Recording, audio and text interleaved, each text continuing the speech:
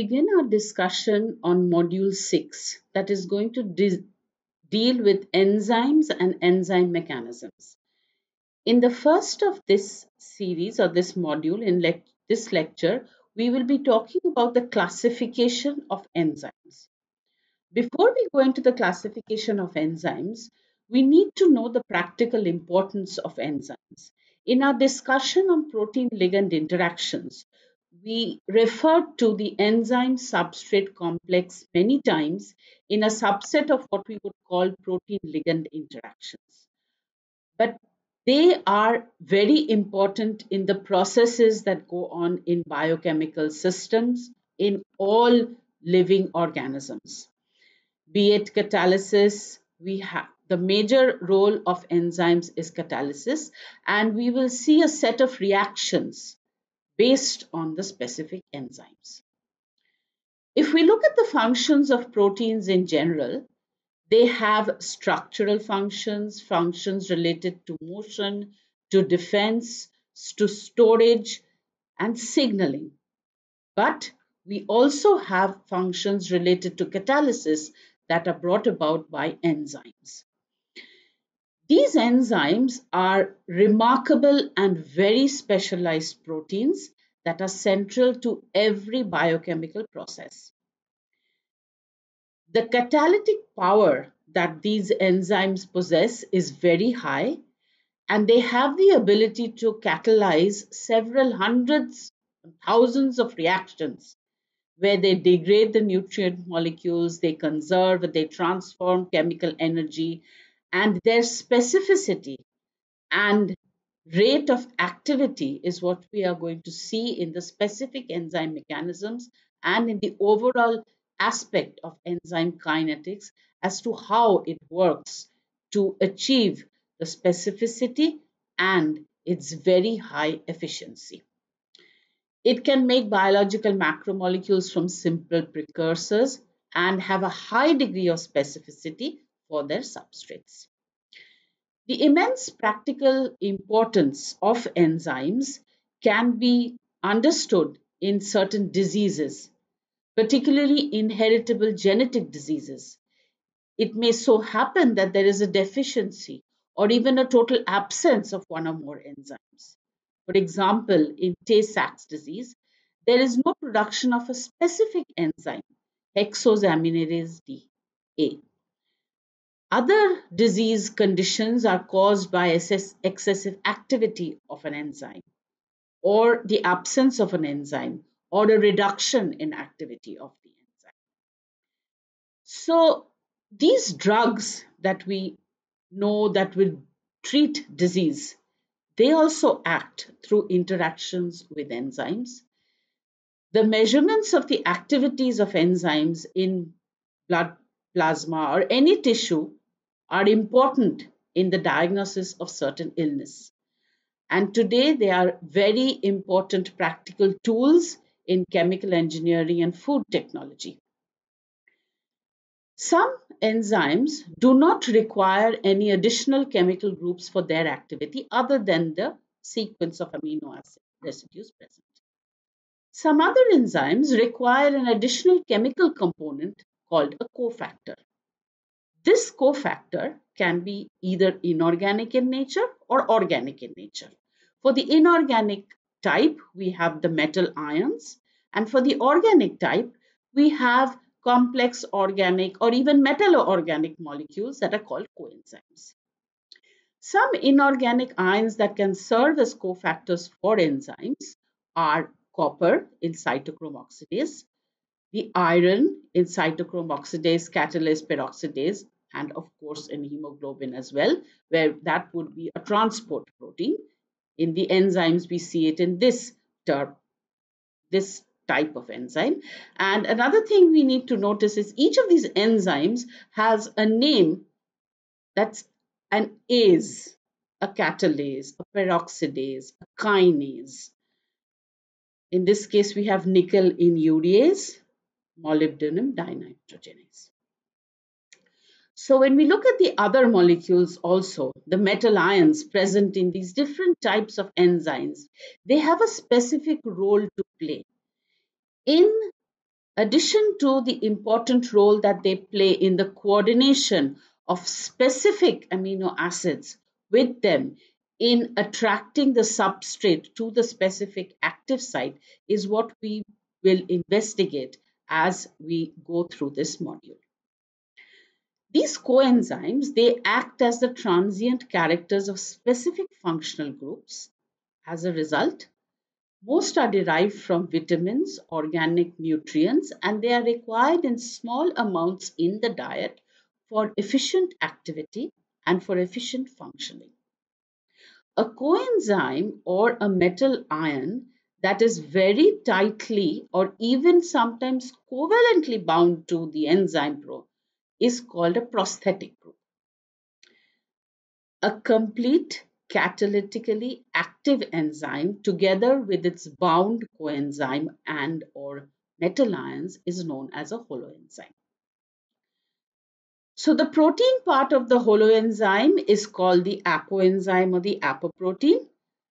Some enzyme proteins are also modified covalently by phosphorylation glycosylation and other processes where there would be some other molecule that is not an amino acid usually tagged onto the protein.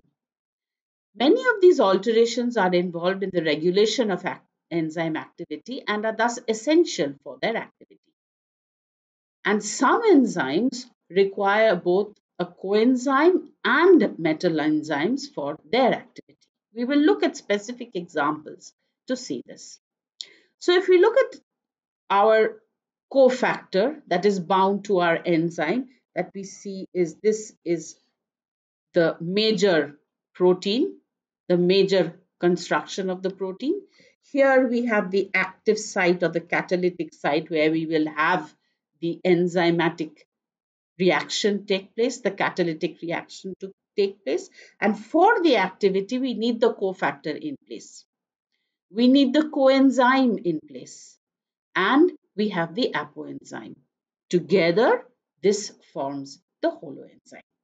And for the enzymatic activity to occur, we need all these parts in place for the proper catalytic activity to occur for this enzyme. Some coenzymes that serve as transient carriers of specific atoms of functional groups are biocytin and it transfers carbon dioxide and the dietary precursor in mammals is biotin. Similarly, there are some other examples here. We have coenzyme A where the chemical group transferred are the acyl groups and the dietary precursor is pantothenic acid. Similarly, we can have coenzyme B12. We have hydrogen and alkyl hydrogen atoms or alkyl groups transferred in vitamin B12, which is the dietary precursor. So any reaction that would require the transfer of alkyl groups would need the coenzyme B12. And for the coenzyme B12 to be present, we have to have vitamin B12. FAD, where we have electron transfer, requires riboflavin or vitamin B2. Some other examples, NAD, where we have the transfer of a hydride ion, nicotinic acid in terms of niacin in dietary precursors. Pyridoxal phosphate, the transfer of amino groups in vitamin B6. Tetrahydrofolate, a carbon groups in folate. And thiamine P, for the transfer of aldehydes in vitamin B1. If we look at the enzyme classification now, there, this assists us in understanding what group of enzymes it belongs to. As was mentioned in a couple of slides before, that the enzymes are generally named according to the reaction that they catalyze or by suffixing is after the name of the substrate.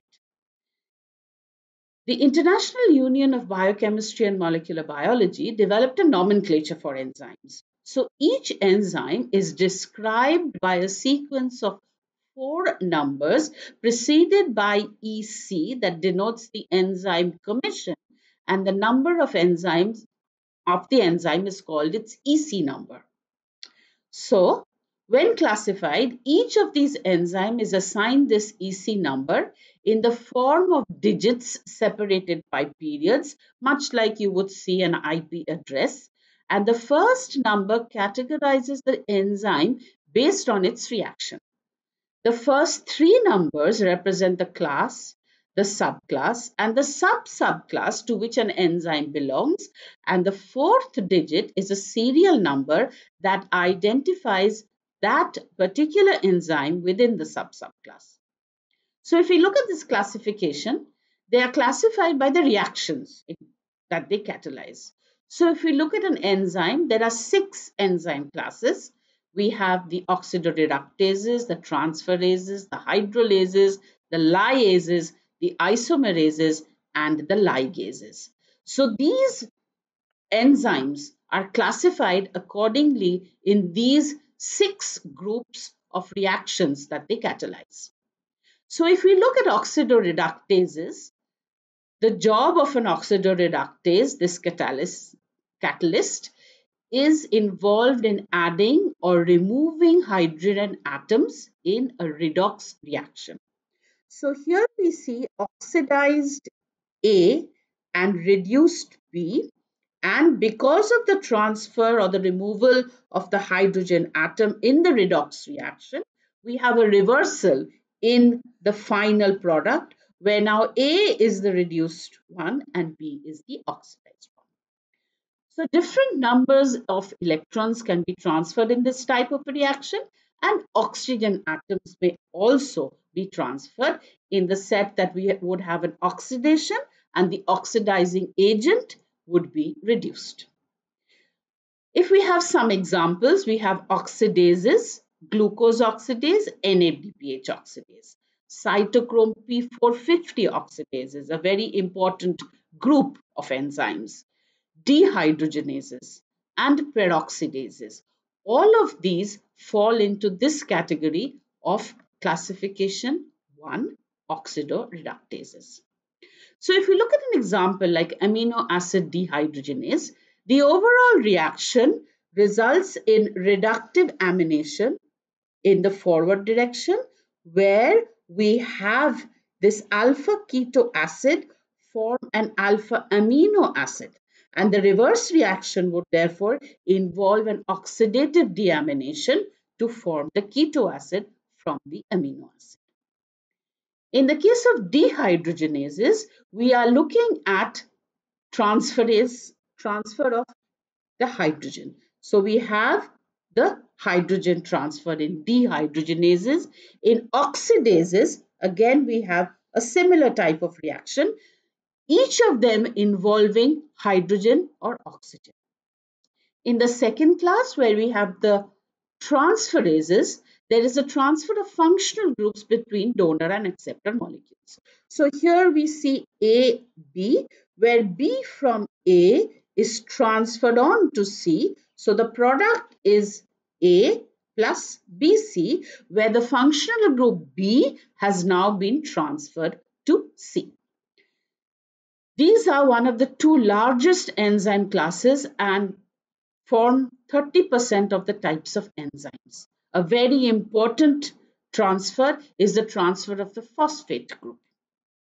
The examples that we see are kinases, methyl transferases, transaminases.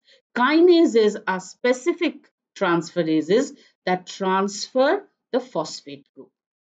We also have the other types of transferases where from the name we can understand what particular group is being transferred and what type of reaction might occur.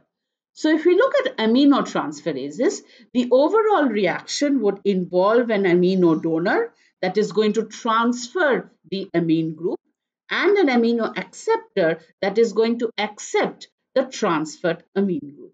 So if we have a system where we have R1, R2 with the NH3 plus group here and we have this where the oxygen atom is, there is an exchange of this where we have the amine donor and the amine acceptor, giving us the overall reaction in that involves amino transferase. In the third type of enzyme classification, we have hydrolases. In this case, there is water being added to the specific bond and there is a cleavage of the chemical bond resulting in AH and BOH. This uses water to break covalent bonds by specific nucleophilic substitution reactions. The examples that we have are esterases, particularly nucleases, phosphatases, and proteases involving serine protease and cysteine protease that are important reaction. This is a peptidase, important reactions that involve the cleavage of a peptide bond, which we will see later when we do enzyme mechanisms. For example, if we look at a CC hydrolase, there is a specific reaction where we cleave the CC bond. So we have a cleavage in this particular reaction where we have the break here and this part remains as it is and this part has transferred here. So we have a CC bond cleavage. In the Fourth type of enzyme classification, we have lyases. In this case, water, ammonia or carbon dioxide is added to a double bond or there is a removal of these small molecules to make a double bond. So the reaction sometimes involves the formation of a double bond or a ring in the structure. The examples of such Lyases are pyruvate decarboxylase where we have the pyruvate molecule lose the carbon dioxide forming acetaldehyde. So the transfer or the loss of a small molecule such as ammonia or carbon dioxide would result in a pyruvate decarboxylase in this case in a specific type of lyase reaction. In the fifth type of enzyme classification, we are looking at isomerases.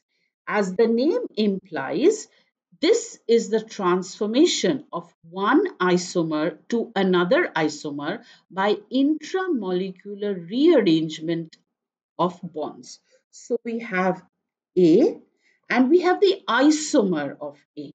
Now, this is sometimes important in enzyme reactions because it allows the interconversion between isomers that take place through geometric or structural changes. The specific examples of these types of enzymes are racemases or epimerases as the name implies. We can go from one racemic structure to another using a racemase enzyme or from one epimer to another epimer in another isomerization reaction. One example is alanine racemase. In cis-trans isomerases, we go from a cis configuration to a trans configuration in these types of isomer reactions. In addition, we can have intramolecular oxidoreductases where we have a ribose 5-phosphate isomerase or we can have specific mutases where an intramolecular transferase will take place. In these cases, there is the transfer of a specific group from one position to the other in the same molecule that indicates that it is an isomer of that, but there is a transfer of a moiety from one atom to another atom. Another example that we can look at is maleate isomerase. In this case, we are looking at a cis-trans isomerase. Malic acid and fumaric acid are cis-trans isomers. So when we have the maleate in this case, which is the cis isomer, the involvement of the enzyme maleate isomerase is going to be involved in a reaction that would form the isomer of maleate, which is fumarate, where we would have the trans configuration. This is an important reaction in one of the oxidative reactions that are present in our body. In this type of enzyme classification in ligases, we have the catalysis where there is the formation of a bond between two chemical groups with the use of energy from ATP. In this case, what happens is we have A, we have B, and these two are going to be connected by a bond formation in a ligation reaction that is going to be due to the presence of the enzyme like some ligase. That will result in the connection of A and B in a covalent bond formation but with the use of energy from the cleavage of the high energy phosphate bond of ATP. These are very important reactions because we are forming new types of compounds. For example, we can form carbon-oxygen bonds, forming carbon-sulfur bonds. In this case, the enzyme that is used to form the carbon-oxygen bond would be amino acid tRNA ligases. Forming carbon-sulfur bonds are acetate coenzyme A ligases. In a specific example of glutamine synthetase, the synthetase means that they, it is being formed. In this case, what we see is we have L-glutamate that is going to form L-glutamine. Glutamine synthetase, as the name implies, the synthesis of glutamine. Now, this particular formation involves the formation of the amide form of glutamic acid. This we know is the amino acid glutamic acid, the acidic amino acid. It is going to be ligased with NH4 plus and we need energy for the reaction. This energy comes from the cleavage of ATP to ADP plus PI, where, which will involve the ligase or the linking of the amine group or formation of the amide of glutamate, that is glutamine. In the sixth enzyme classification of ligases. Again, we are looking at this specific bond as we spoke about. These are the references for this particular lecture. Thank you.